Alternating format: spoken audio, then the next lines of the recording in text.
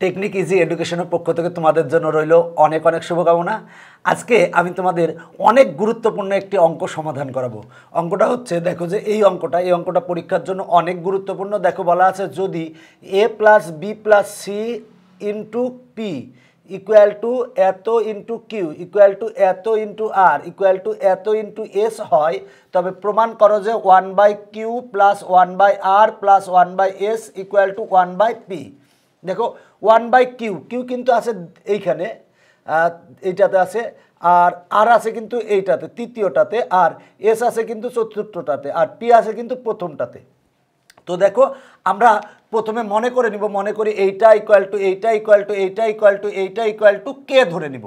আমরা ধরে নিয়েছি যে এইটা ইকুয়াল টু এইটা ইকুয়াল টু এইটা ইকুয়াল টু এইটা ইকুয়াল টু কে তাহলে আমরা লিখতে পারি, অতএব প্রথমটা ইকুয়াল টু কে লিখতে পারি। তাহলে আমরা লিখব অতএব প্রথমটা ইকুয়াল টু কে মানে অতএব A plus B plus C into P equal to আমরা কে লিখতে পারি। এখন দেখো পিটা গুণ আকারে আছে, আমরা যদি পক্ষান্তর করি তাহলে ভাগ হবে। তার মানে আমরা পাই বা A plus B plus C equal to K ভাগ পি আমরা এটা এক নং সমীকরণ দিলাম।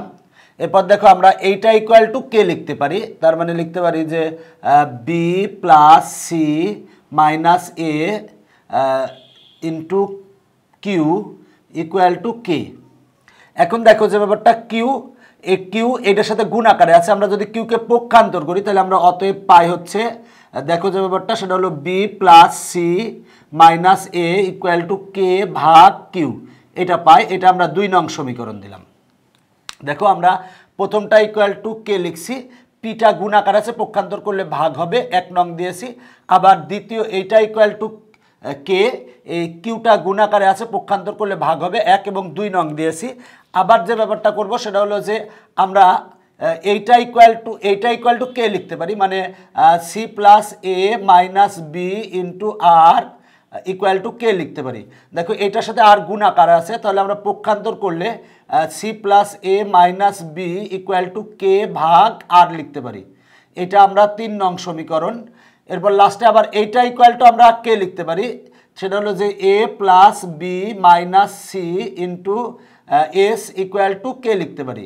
তাহলে অতএব আমরা লিখতে পারি A plus B minus C equal to K ভাগ এস এইটা আমরা চার নং দিতে পারি।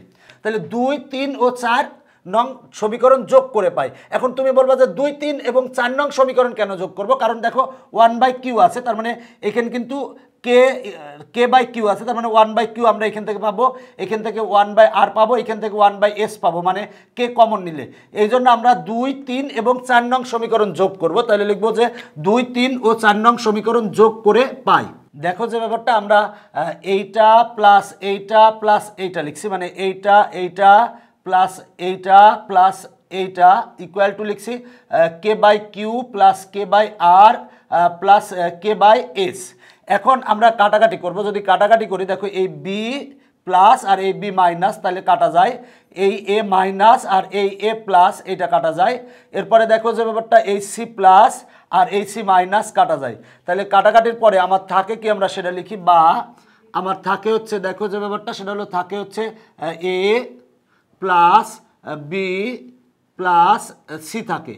ইকুয়াল টু দেখো এই, আমার এই তিনটাতে কমন হচ্ছে কে যদি আমরা কে কমন নিই, তাহলে হয় হচ্ছে one by Q plus one by R plus one by S এটা থাকে। এখন দেখো আমরা A plus B plus C দেখো A plus B plus C equal to আমরা এক নং থেকে পাই যে A plus B plus C equal to K ভাগ পি পাই। দেখো A plus B plus C equal to আমরা পাই কে ভাগ পি তাহলে আমরা লিখব বা কে ভাগ P equal to K into one by Q plus one by R plus one by S আমরা ব্রাকেটে লিখব লিখব যে এক নং হতে। এক নং হতে দেখো যে ব্যাপারটা, আমরা এই লাইন থেকে এই line A plus B plus C A plus B plus C equal to K by P লিখব। তাহলে A plus B pi B plus C equal to আমরা লিখছি কে বাই পি এখন দেখো, উভয় পক্ষের কে আর কে বাদ চলে যায়। যদি বাদ চলে যায়, তাহলে আমরা এই পক্ষটা আগে লিখি এই পক্ষটা পরে লিখব। তাহলে যদি বাদ চলে যায়, তাহলে আমরা কি পাই? দেখো, এখানে আমার আটবে। তাহলে লিখতে পারি অতএব যদি কে আর কে বাদ দিয়ে দিই, দিয়ে এই পক্ষটা আগে লিখব, এই পক্ষটা পরে লিখব।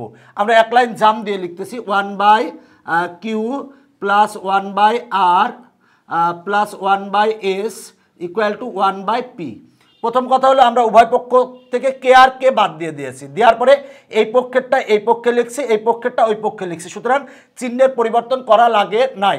আমরা একটা লাইন জাম দিয়েছি কে আর কে বাদ দিয়ে বাদ দিয়ে যদি আমরা এটা এই পক্ষে নিয়ে আসতাম, এটা এই পক্ষে নিতাম, তাহলে তোমরা আরও ভালো বুঝতে, তবে এইভাবে এইভাবে করলেও সমস্যা নাই। আমার জায়গার স্বল্পতা এই জন্য আমি এক লাইন কম করছি। কে আর কে উভয় পক্ষতে বাদ দিয়েছি, দিয়ে এই এই পক্ষেরটা এই পক্ষে লিখছি, এই পক্ষেরটা ওই পক্ষে লিখছি।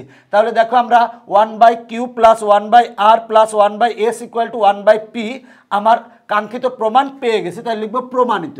দেখো, অঙ্কটা দেখে অনেক বড় মনে হতে পারে লিখা, অঙ্কটার অনেক লিখা বাট দেখো অঙ্কটা কিন্তু সহজ একটা অঙ্ক।